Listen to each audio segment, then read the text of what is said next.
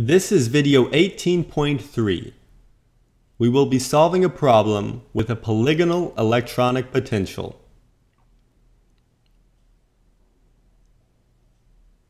The question.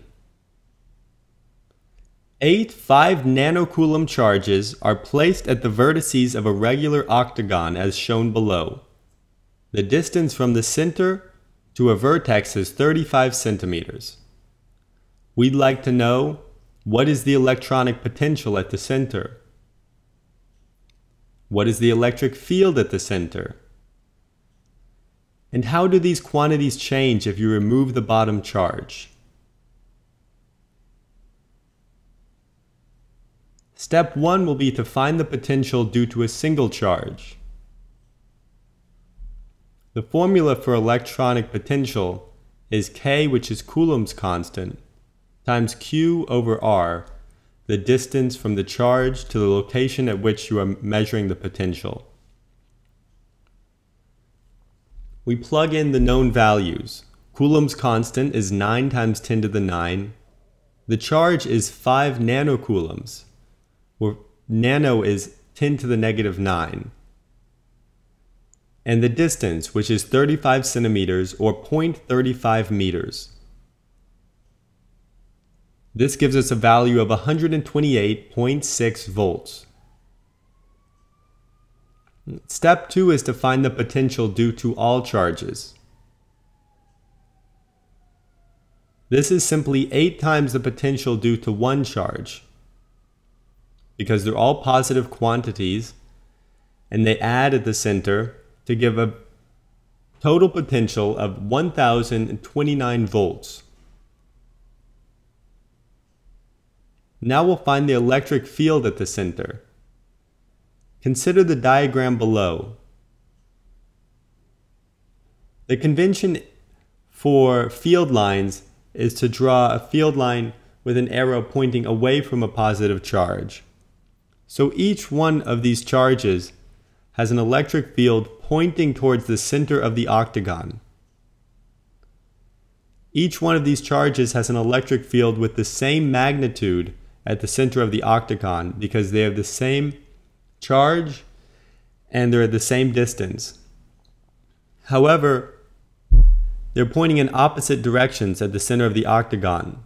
Consider the pair of charges that is the top and the bottom, same magnitude, opposite direction, so they cancel.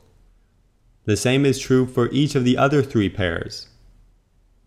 We have, therefore, that by symmetry, the electric field is equal to zero at the center.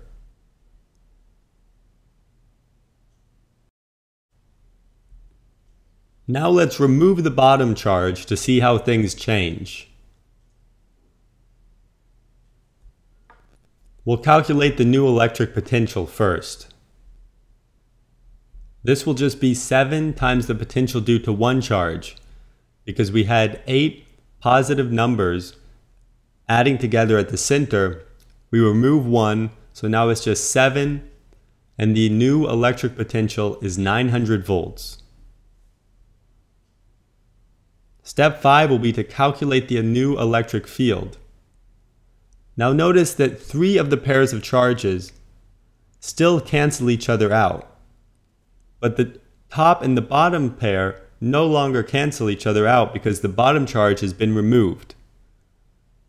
So therefore, the only charge which contributes to a net electric field at the center will be the top charge. And it's pointing straight downward. In fact, the coordinates of this vector are 0, comma, negative 0.35 because it's 35 centimeters and it's downward. This is the formula for the electric field and we can plug in the known values.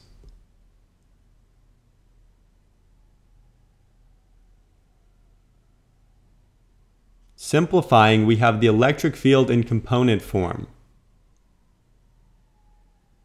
You could also specify the electric field in terms of a magnitude and a direction by saying that it's 367 volts per meter pointed straight down or at negative 90 degrees.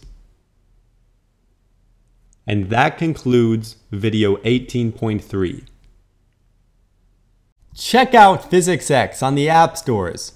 This revolutionary physics app for smartphones and tablets contains over 100 videos and 500 multiple choice questions designed by education experts. It's been proven to improve scores for intro college physics, AP physics, MCAT physics, and more. Just look for the blue icon.